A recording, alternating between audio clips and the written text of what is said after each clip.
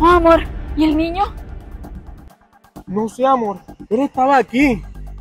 Amor, por favor, ayúdame a buscarlo. Debes estar aquí en el parque todavía.